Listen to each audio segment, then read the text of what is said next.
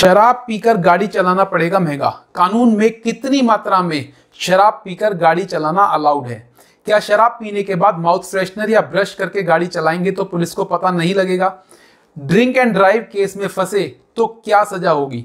शराब पीने के कितनी देर बाद ड्राइव करना सेफ़ है? तो दोस्तों, आज इन सारी सवालों के आपको हम जवाब देंगे। हाय फ्रेंड्स, मैं एडवोकेट योगेश अग्रवाल। आज के इस इंफॉर्मेटिव वीडियो में आपका स्वागत करता हूँ। भारत में शराब पीकर गाड़ी चलाने पर प्रतिबंध है। आंकड़ों से पता चलता है कि एक्सीडेंट का सबसे प्रमुख कारण शराब पीकर ड्राइविंग करना है और भारत में इसका आंकड़ा दुनिया में सबसे ज़्यादा है। हर साल करीब एक लाख चौंतीस हज़ार लोगों के हुए एक्सीडेंट में सत्तर फ़ीसदी सिर्फ़ शराब की वजह से ही मारे जाते हैं। भारत के कानून में एल्कोहल की एक लिमिट से बाहर शराब पीकर ड्राइव करना एक कानूनन अपराध है। यानी एक निश्चित मात्रा में अगर आप शराब पीकर गाड़ी चलाएँगे तो दिक्कतों का सामना नहीं करना पड़ेगा। लेकिन जैसे ही यह सीमा पार हुई, आपको भारी दिक्कतों का सामना करना पड़ सकता है। जब आप शराब पीकर गाड़ी चलाते हैं तो सिर्फ़ अपनी ही जान नहीं, बल्कि अपने साथ कई लोगों की जान को दाव पर लगाते हैं। अब हम बात करते हैं, क्या शराब पीने के बाद माउथ फ्रेशनर या ब्रश करके गाड़ी चलाएँगे तो पुलिस को पता नहीं लगेगा। जी नहीं दोस्तों ऐसा बिल्कुल नहीं है। ट्रैफ़िक पुलिस के पास बकायदा एक मशीन, जिसे हम ब्रेथलाइजर बोलते हैं, होती है। जिसके ज़रिए वो आसानी से चेक कर सकते हैं कि कार चलाने वाले व्यक्ति ने कितनी मात्रा में अल्कोहल पी रखी है। अब हम बात करते हैं कि कानून में कितनी मात्रा में शराब पीकर गाड़ी चलाई जा सकती है।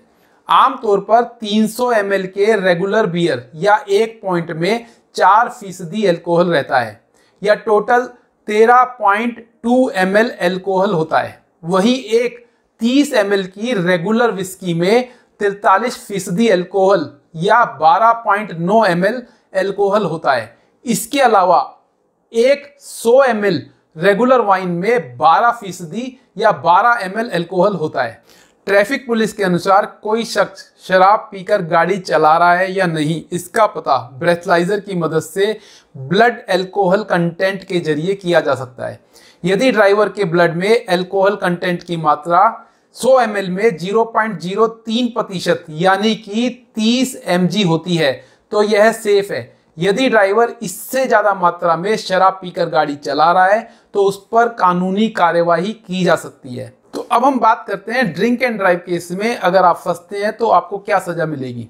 भारत में अगर कोई ड्रिंक एंड ड्राइव के केस में फंसता है तो उस पर ट्रैफ़िक पुलिस द्वारा मोटर व्हीकल एक्ट की धारा एक लगाई जाती है, जिसके चलते आपका वाहन मोटर व्हीकल एक्ट की धारा 207 के तहत जब्त किया जा सकता है। ट्रैफ़िक पुलिस द्वारा गाड़ी को जब्त किए जाने के बाद ड्राइवर को सभी दस्तावेजों को कोर्ट में पेश करना होता है।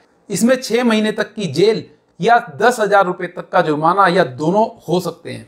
अब हम बात करते हैं शराब पीने के कितनी देर बाद ड्राइविंग करना सेफ़ है।